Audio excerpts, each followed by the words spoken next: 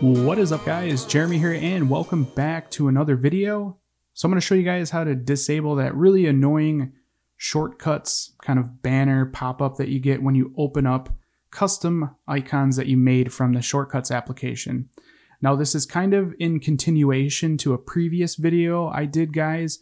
Uh, it was for icon board and how to um, theme icons like a pro on iOS 14. I highly suggest you guys watch that video first and then come back to this one because this will make a little bit more sense. And it also shows you some crucial steps um, with disabling shortcuts notifications and stuff like that. So I highly suggest you guys watch that video. Uh, but anyways, um, in that video, I covered how to do basically all the different applications. So icon board I use for the third party apps like Instagram or Spotify. And then for stock Apple applications, to avoid having redirects, I use the shortcuts application. But one annoyance that you get when you do that is you receive this pop-up. Now this works, I would say probably like 85% of the time. It doesn't guarantee it's going to work every time, but it does for the most part. So if I go ahead and open up the phone application, I have it enabled for this. Um, and obviously this is a stock Apple application. So hopefully I don't get the banner pop up and I did not as you guys seen there. So like I said, this does work most of the time, but it's not quite 100%, but it's pretty close.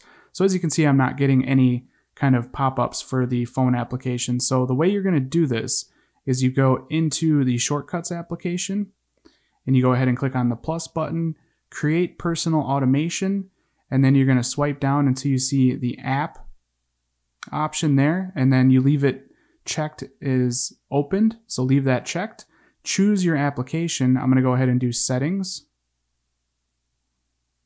Just like so. Go ahead and click on done. And then now we're going to do next. And now we have to add an action. And the action we want is just simply called number. So there it is right there. Just go ahead and select on number. Leave the number as it is. It shows like 42 right there. Just leave it alone. Click on next. And now you make sure you uh, disable ask before running. So turn that off and then do not ask and then click on done. And now the settings application should no longer, at least for the most part, get a little pop-up when I launch it. So it did that time. I've noticed that if you kill it from multitasking, it sometimes will help with that. And as you can see, there you go. There is no pop-up. Let's go ahead and run it again. Again, no pop-up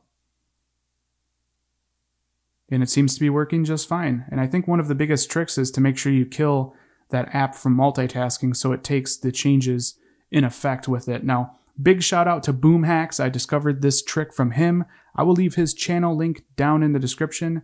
But anyways, I hope you guys enjoyed this video. If you did, definitely throw me a thumbs up. And if you guys want to see more videos like this in the future, don't forget to click that subscribe button. Later.